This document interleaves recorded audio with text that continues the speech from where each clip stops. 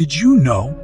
The world's oldest known cave paintings were discovered in Indonesia on the island of Sulawesi, date back over 40,000 years.